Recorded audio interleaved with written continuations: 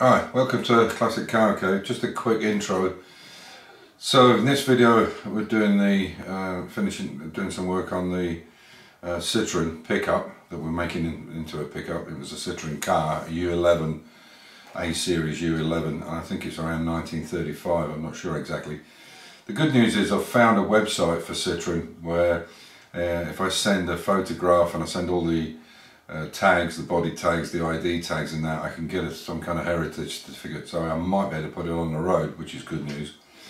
So basically this video is on the uh, Citroen. Uh, but just to let you know, tomorrow uh, all day we're leaving around 6 o'clock in the morning.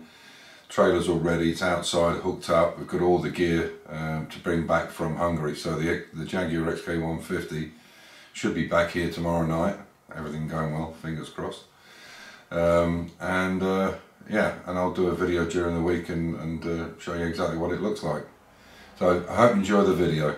Going on to a bit different part of the build. Um, so I bought these hinges, obviously was, this was a whole piano hinge and you can't buy them, well you could probably if I ordered them specially.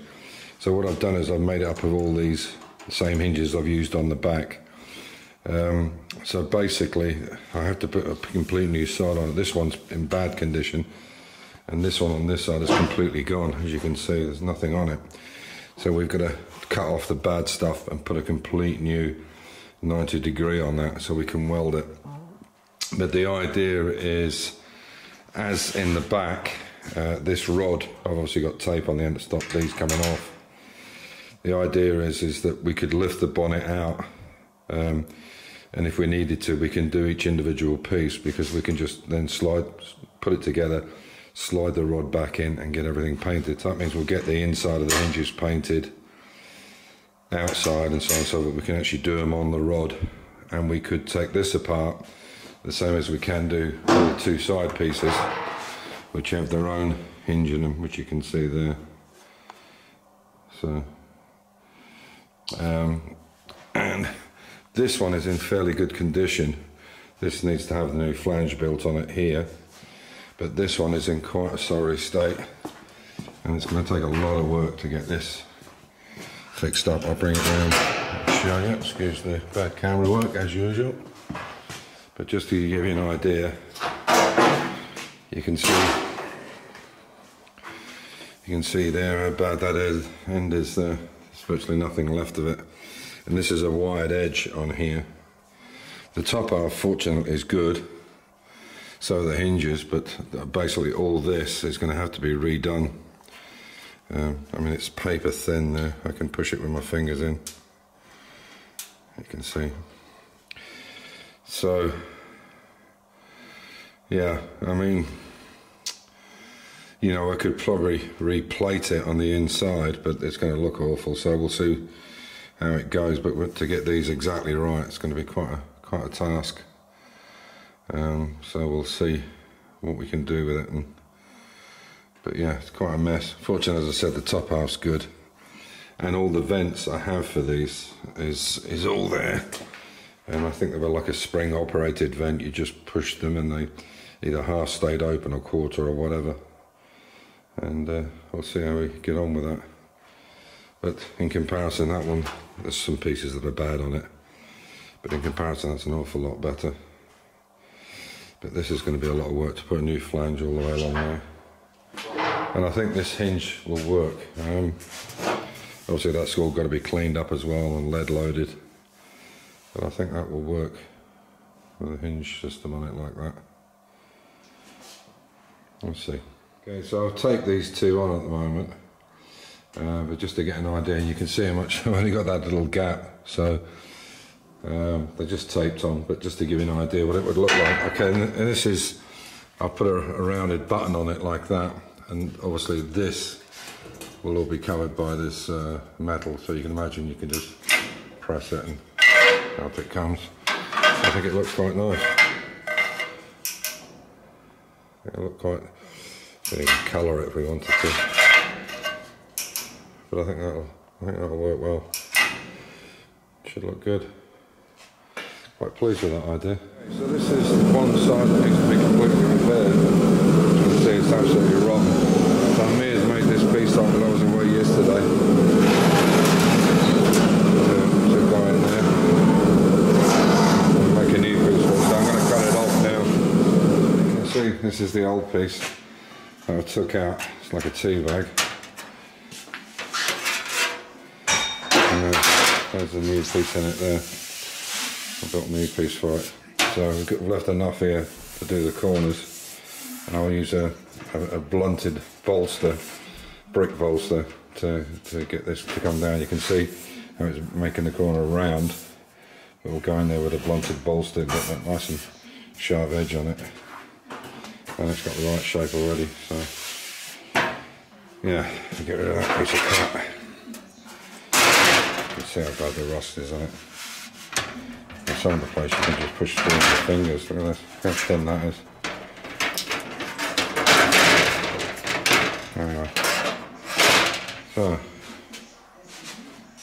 and uh, I'm starting on the bonnet now, just taking what was left of the edge on, on the bonnet and I'm going to make two angle iron one mil sections for the bonnet there and for the other piece there.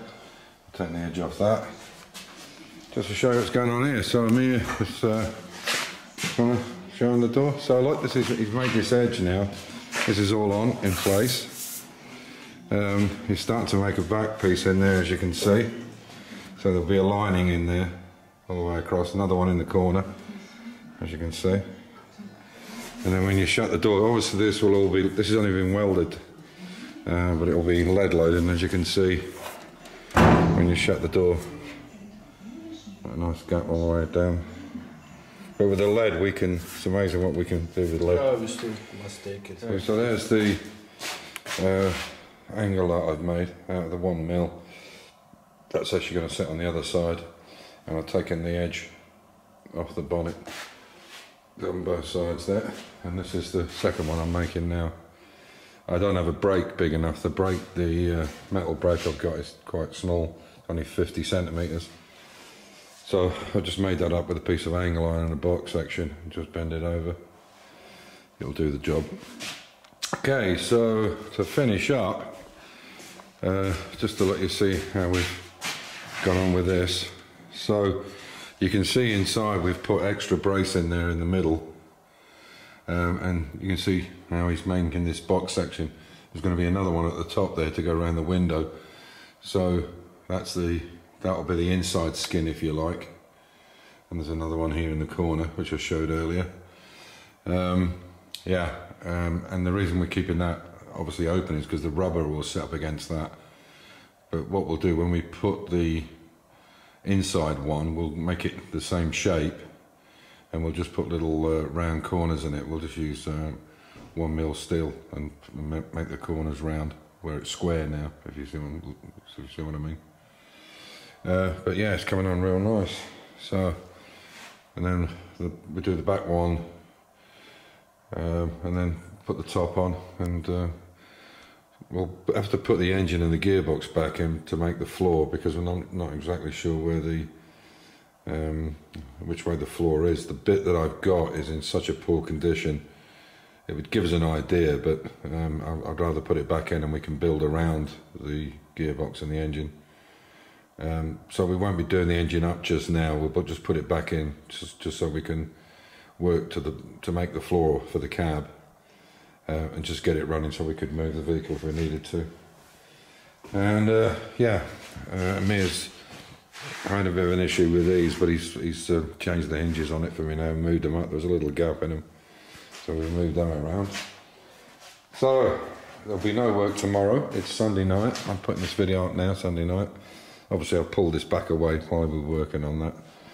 And as you can see, the garage is uh, these are the seats out of my Mercedes. Obviously, we took everything out. We've got such a lot of gear to bring back. But basically, this is where the XK will be sitting tomorrow night. Uh, and I'll do a video on that, showing it coming back and getting it back in here. And I've just ordered myself, I should have got it before, but I've just ordered myself a, um, a cover for the XK150 made for it. Unfortunately, I can get it within two or three days because we want to try and get as much work on this done, the welding work we can do on this now before we uh, uncover the Jag because I don't want dust and shit on the on brand new paintwork so it'll be sat there but covered for a, for a little while. So the car, the trailer is on the on the car, and we're leaving at six o'clock tomorrow morning to Hungary. So I'll uh, do a video and I'll probably put it up during the week. But hopefully everything goes well. The paint job's as good as it looks in the photos, and we have no issues. I'll pay the guy the rest in cash, and uh, hopefully the jobs are good. And so, on that note, stay safe, keep the faith, enjoy your hobby, and hopefully you'll see a, uh, a video on on the car back, the X the Jaguar XCOBRA 150 back here. Take care, be good to each other. Bye for now.